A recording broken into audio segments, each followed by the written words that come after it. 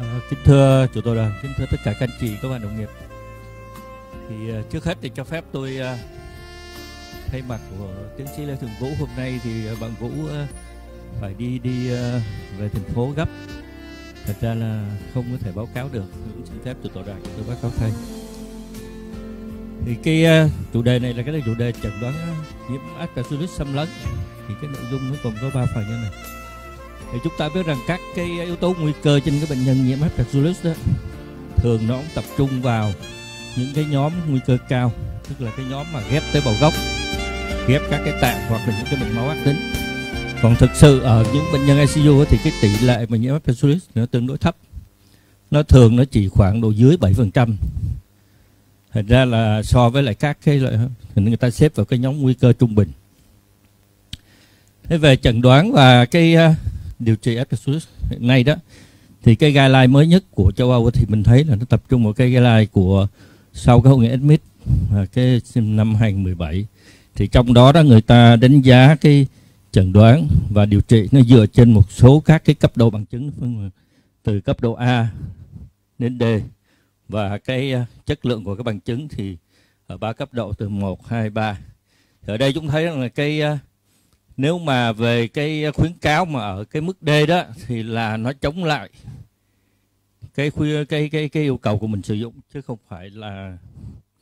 uh, nó nó có ở cái mức độ cao.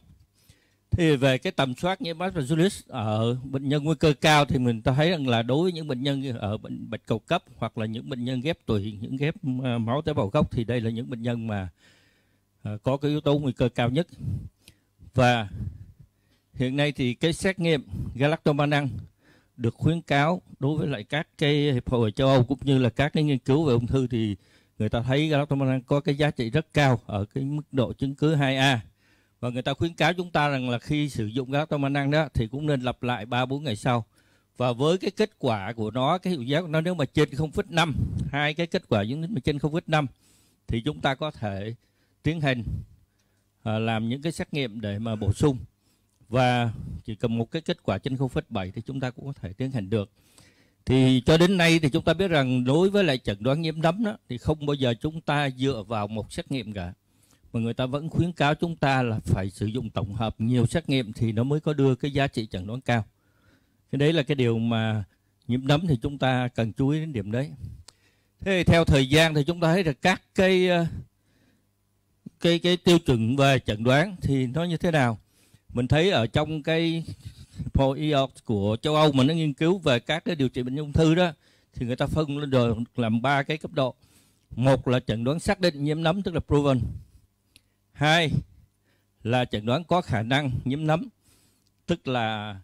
uh, probable. Và cái nghi ngờ tức là possible. Thì mình thấy rằng là cái chẩn đoán chắc chắn mà nhiễm nấm thì người ta đã sử dụng cái guideline này từ năm 2008 đó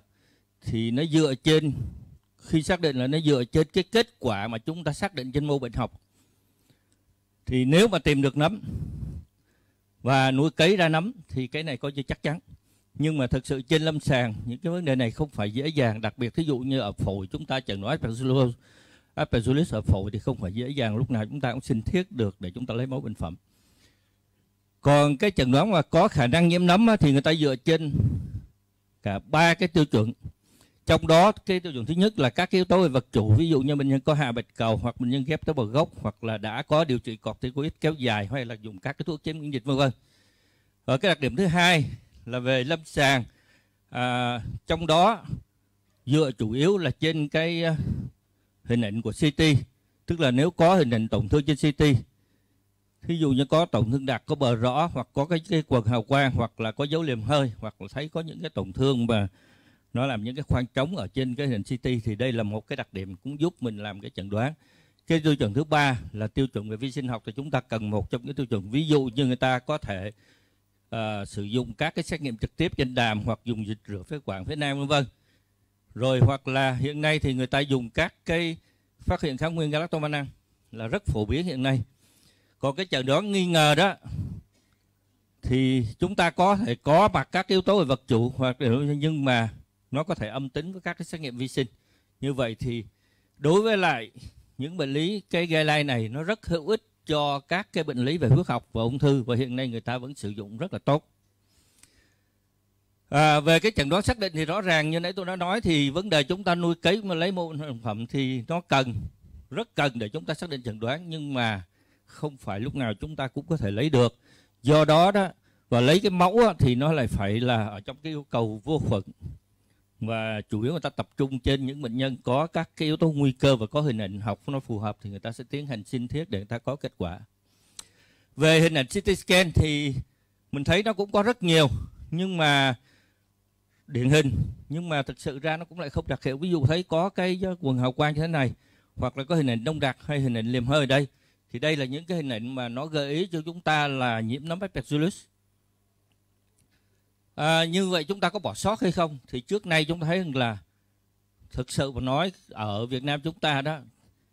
thì các đồng nghiệp chắc cũng cũng như là tôi kể không biết cái hệ thống đào tạo và trường y của chúng ta trong lĩnh chúng ta nhưng mà hình như cũng chưa chú ý đến vấn đề này nhiều.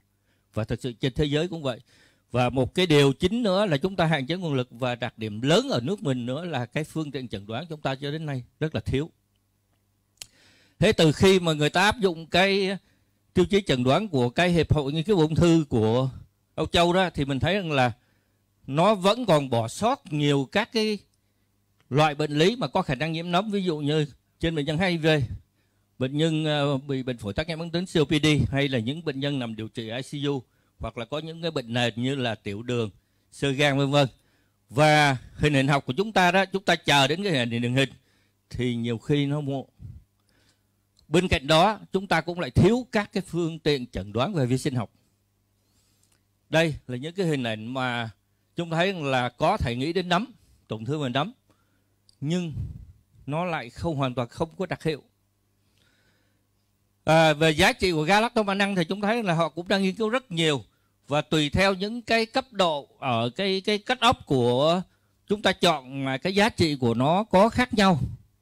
Ví dụ như ở đây mình thấy rằng là nó có thể dao động từ khoảng độ 60% cho đến gần 100% hoặc là một cái có đến 100% ở trong cái độ nhạy cũng là độ đặc hiệu cũng vậy. Và như thế thì à, chúng ta thấy là sử dụng cái giá trị galactomannan ở trong các cái bệnh lý mà những cái mẫu bệnh phẩm này như thế nào. Thì mình thấy rõ ràng cái về cái cấp độ bằng chứng á, thì mình thấy nó cũng có cái giá trị khá cao. Chỉ trừ có một cái trường hợp là cái, ở đây mình thấy nãy tôi lưu ý cái D là chúng thấy là nếu trong trường hợp những bệnh nhân mà dạ mạch cầu hạt kéo dài nhưng mà có cái điều trị phòng ngừa bằng cái thuốc kháng đấm rồi đó thì cái sử dụng galactomannan này nó lại không có giá trị. Do đó nó bằng chứng D là bằng chứng chống lại cái chuyện chúng ta lấy mẫu xét nghiệm để thử galactomannan cho những bệnh nhân mà đã điều trị kháng nấm trước đó để dự phòng. Đó, cái điều đó là chúng ta còn bao nhiêu cái thì chúng ta nó có cấp độ từ A cho đến C và cái giá trị của cái chất lượng bằng chứng cũng khá cao ở cấp độ 1, 2, và chỉ có một cái là ở cái ba thôi. Thế cái hiệu quả của galactomannan cho đến nay đó, thì người ta thấy rằng là cái giá trị của nó nó mang đến chất chúng ta làm tăng cái độ nhạy và độ đặc hiệu khi chúng ta phối hợp với các cái xét nghiệm khác. Cái điều đó thì hiện tại đã được chứng minh rất nhiều. Thế còn beta glucan thì sao? Beta glucan chúng ta thấy rằng là nó là một xét nghiệm. Nó cũng có dương tính đối với là aspergillus nhưng thực sự ra beta glucan nó có mặt ở trong những cái loại nấm khác ví dụ như candida trichosporium thành ra. Nếu chúng ta dùng beta glucan thì nó chỉ giúp cho chúng ta làm cái chẩn đoán phân biệt. Từ vì beta glucan nó dương tính thì chúng ta thấy là nó có thể dương tính trong candida. Do đó nó cũng chỉ là một cái xét nghiệm phối hợp. Mặt khác beta glucan chúng ta biết rằng là nó có thể dương tính giả đối với những bệnh nhân mà có thể điều trị một số kháng sinh ví dụ như amoxicillin vân vân. Hay là nó dương tính với những số các cái uh, loại uh, nó những cái sợi vải mà người ta có có dùng cellulo mà chúng ta sử dụng trong y tế thì nó có nó có thể nó có dương tính già do đó cái beta glucan nó cũng có cái giới hạn của nó. Ngoài ra thì beta glucan nó cũng không chẩn đoán được các cái loại nấm khác như là cryptococcus pneumococcal hoặc là các cái loại myco thì gần đây một cái xét nghiệm mới là lateral flow thì nó cũng khá phổ biến. Cái hiệp hội uh, của cái admit vừa qua, tôi có đi xem cái Latin Flow này nó bán khoảng độ 3 hay 4 euro gì đó. Nhưng mà đối với vậy thì mình thấy giá trị 3 4 euro ở Việt Nam chúng ta thì nó cũng tương đối là cao. Hiện giờ thì chúng ta cũng chưa thấy xuất hiện ở trên cái thị trường Việt Nam. Nhưng mà đây là một cái xét nghiệm mà tôi nghĩ rằng trong tương lai nó cũng có thể khá phổ biến. Bên cạnh cái galactomannan vì cái độ nhạy và độ đặc hiệu của nó cũng tương đối cao. Nó có thể giúp cho chúng ta à, phát hiện sớm cái chẩn đoán, cái aspergillus trên lâm sàng còn PCR PCR thì hiện giờ cũng là một cái xét nghiệm mà người ta cũng chú ý nhiều, nhưng mà cái tiêu chuẩn để chuẩn hóa để cho cái độ nhạy và độ đặc hiệu PCR cho nó mang có giá trị cao thì cũng cũng còn ờ, đang được bàn cãi. Và người ta thấy rằng cái PCR mà âm tính đó là nó loại trừ được cái aspergillus nhưng mà hai, một cái PCR dương tính thì chưa đủ, nhưng mà hai xét nghiệm PCR dương tính thì cho phép mình chẩn đoán là nhiễm aspergillus thế còn ở trên ICU thì sao? Ở những bệnh nhân ICU đó thì mình thấy rằng là về cái chẩn đoán aspergillus đó thì hiện giờ người ta chủ yếu người ta sẽ sử dụng cái galactomannan mà dùng trong những cái dịch rửa phế quản để chúng ta thay cho cái chuyện mà chúng ta lấy, chúng ta cấy.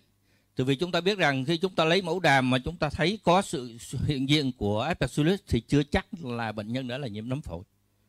Cái điều đó, bây giờ đây là những cái xét nghiệm mà phối hợp ngoài những cái triệu chứng mà người ta cần trên lâm sàng. Ví dụ như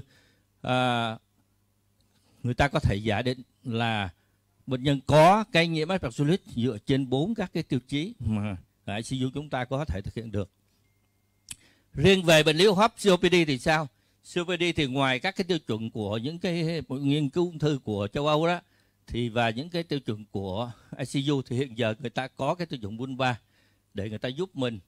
Thế thì ở trên COPD thì người ta chọn những bệnh nhân mà ở cái tiêu chí GOL 3 hay 4 rồi ngoài ra nó có thể sử dụng các cái xét nghiệm khác để phối hợp. Trong đó có cái galactomannan để mà chúng ta tham gia vào cái chẩn đoán. À, ngoài ra thì hiện giờ nó có một cái chẩn đoán cũng là vulva nhưng mà nó modify rồi. Thì trên đó nó cũng đánh giá trên các cái yếu tố về vật chủ rồi các cái triệu chứng về lâm sàng cũng như là những cái xét nghiệm về vi sinh học. Người ta có thể sử dụng để mà à, chẩn đoán trên bệnh nhân COPD À, hiện giờ chúng ta đối với nước chúng ta thì sử dụng cái tiêu chí chẩn đoán của cái guideline 2016 là rất phổ biến. Trong đó chẩn đoán xét nghiệm Aspergillus thì dựa trên nếu mà chúng ta lấy được mẫu bệnh phẩm mô và chẩn đoán xác định trên cái ờ, mô bệnh học và nuôi cấy thì cái điều này là cho cái bằng chứng rất là cao về cái khuyến cao và bằng chứng rất là mạnh. Visa cũng còn có giá trị galactomannan thì người ta cũng khuyến cáo chúng ta hiện giờ đây là mặt cơ chính để mà sử dụng trên các cái bệnh nhân huyết học cũng như bệnh nhân ung thư như nãy tôi đã nêu beta căng thì nó cũng giúp cho mình để ờ, chẩn đoán phân biệt. À, CT scan ngực cũng vậy. Và người ta khuyến cáo chúng ta thì lúc đầu thì có thể dùng CT ngực không cản quang là không dùng thường quy chất cản quang cho cái chẩn đoán Aspergillus và chúng ta chụp CT á, thì nên theo dõi mỗi 2 tuần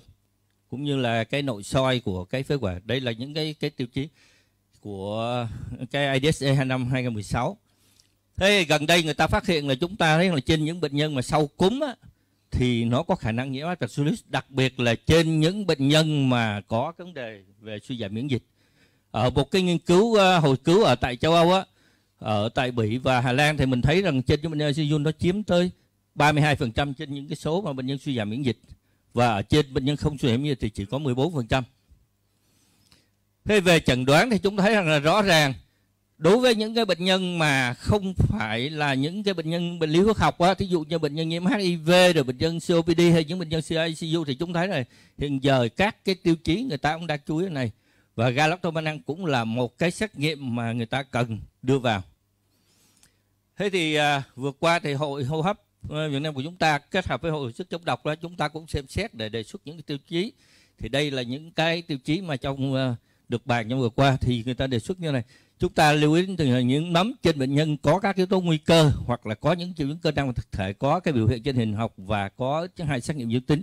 Còn ngoài ra, chỉ chúng ta xem là nó chỉ là quần cư colonization thì trên những bệnh nhân mà nó không có các yếu tố nguy cơ nhưng mà có một cái xét nghiệm về vi nấm nó dương tính mà thôi. Thế ở được những cái bệnh nhân nguy cơ rất cao là gì? Đó là những bệnh nhân giảm bạch cầu hạt hoặc những bệnh nhân mà có liên quan đến bệnh lý tế bào máu có ghép tế bào gốc à, bệnh nhân nguy cơ cao thì ghép tế bào đồng ghép hoặc ghép tạng hoặc là có hóa trị trị liệu của bệnh nhân bệnh cao cấp những bệnh nhân nguy cơ trung bình là những bệnh nhân chúng ta thấy là nằm ở điều trị ICU hoặc là những bệnh nhân có bệnh nền như là COPD, bệnh tiểu đường hoặc là sơ gan, mất ngủ vân vân à, các cái triệu chứng toàn thân để chúng ta gợi ý trong cái trường hợp mà nhiễm nấm trong cái tiêu chí của hội hô hấp và hồi sức nêu đó thì chúng ta chú ý đến những cái triệu chứng về toàn thân. Ví dụ như bệnh nhân sốt trên 3 ngày mà đã điều trị các kháng sinh phổ rộng thích hợp mà không có giải quyết được. Hoặc là sốt bệnh nhân tái phát sau 14 8 giờ đã ngưng kháng sinh thì chúng ta chú ý. Hay là bệnh nhân suy hấp tiến triển mà chúng ta không lý giải được bởi những các nguyên nhân khác. Ngoài ra chúng ta cũng chú ý đến các cái triệu chứng tại chỗ ví dụ đau ngực khó thở ho ra máu vân vân đây là những cái triệu chứng mà nó giúp cho mình lâm sàng mình lưu ý đến cái triệu chứng khả năng bệnh nhân có thể nhiễm nấm. À, về các cái xét nghiệm ưu tiên thì chúng ta cần chú ý đến chụp vi tính các lớp làm PET CT, MRI vân vân. Hoặc là chúng ta làm các cái xét nghiệm chẩn đoán hình hình khóc ờ, hình học khác để mà chúng ta à, giúp chúng ta chẩn đoán xác định. Đây là những cái triệu chứng gợi ý trên hình CT ví dụ như dấu liềm hơi hoặc cái quần sáng và các cái triệu chứng khác thì nó ít đặc hiệu hơn, nhưng mà chúng ta vẫn có thể gặp ở trên lâm sàng khi chúng ta có cái hình CT về sinh thiết, nếu chúng ta lấy được mẫu bệnh phẩm để sinh thiết thì đây là cái kết quả tốt nhất. Rửa phế quản phế nang, chúng ta vẫn có hữu ích trong vấn đề chúng ta chẩn đoán. Và cái cách làm thì nó cần phải bảo đảm đúng với các cái kỹ thuật của cái phòng xét nghiệm. Chúng ta soi nhôm thì nó cũng giúp cho mình chẩn đoán được cái aspergillus nhưng mà cái vấn đề cấy máu ở đây thì chúng ta thấy rằng là cấy máu để chẩn đoán nhiễm aspergillus thì có giá trị rất thấp, vì thường là nó ngoại nhiễm. Tuy nhiên, chúng ta thấy rằng là nấm aspergillus vẫn có thể lên đường máu trong những trường hợp mà nó xâm lấn vào những cái bệnh lý của những người có bệnh lý van tim á, xâm lấn vào viêm nội tâm mạc rồi nó ảnh hưởng van tim thì nấm nó vẫn có thể vào máu và chúng ta vẫn có thể phát hiện được. Vì thế cho nên nếu hai mẫu máu mà chúng ta cấy mà dương tính thì có vẫn có giá trị ở trong cái chẩn đoán chứ không phải chúng ta loại trừ được trong trường hợp mà Aspergillus. Thế về biện luận kết quả thì chúng thấy là hiện nay người ta thấy là các cái xét nghiệm tìm các nguyên thể Galactose vẫn là cái xét nghiệm ta chú ý đến. Lateral flow là xét nghiệm trong tương lai. Còn các cái xét nghiệm khác thì nó giúp cho mình để làm chẩn đoán phân biệt. Và khi chúng ta biện luận thì chúng ta thấy cần, cũng cần phải chú ý. Ví dụ như mỗi cái xét nghiệm chúng thấy nó có độ cắt cái cái kết ấp của nó khác nhau mà tùy theo thí dụ như có nhiều người lấy cái kết ấp quá cao á, thì mình thấy cái độ chạy độ đặc hiệu nó tuột xuống. Nhiều khi người ta lấy khoảng 70% thì cái độ đặc hiệu nó còn ba bốn chục nhưng mà chúng thấy là nếu mà lấy ở cái khoảng 0,5 đó, thì có khi những cái xét nghiệm đó nó đạt được ở khoảng độ 7 80 phần trăm nó cũng cho giúp ích cho mình. Thành ra tùy theo cái đó mà chúng ta phải đánh giá cái kết ấp của từng xét nghiệm để chúng ta có thể sử dụng. À, về thực hành thì chúng ta hiện nay chúng ta có thể dựa trên những cái tiêu chuẩn của châu Âu hoặc là những cái tiêu chuẩn để sử dụng trong ICU hoặc là buôn ba cải tiến cho bệnh nhân COPD. Thế còn ngoài ra chúng ta cũng cần chú ý trên những bệnh nhân cúm HIV hoặc là những bệnh nhân có tiền sử bệnh gan, suy gan thì nó cũng cần có khả năng là nhiễm nấm Aspergillus. Thì cái gợi ý của cái bộ tiêu chuẩn trong cái thời gian vừa qua mà ở hai hội chúng ta thảo luận đó thì nó cũng giúp cho mình chia ra những cái bệnh cảnh chính đối với những bệnh nhân huyết học thì là bệnh nhân yếu tố nguy cơ cao còn bệnh nhân nằm ICU chúng ta thì có cái yếu tố nguy cơ trung bình thì chúng ta sẽ sử dụng để mà chúng ta có thể chẩn đoán được cái Aspergillus thì à, cái ưu của mình ở cái chỗ là chúng ta bao phủ được hết tất cả các đối tượng của ICU nhưng mà chúng ta lại không có những cái chứng cứ sẵn có.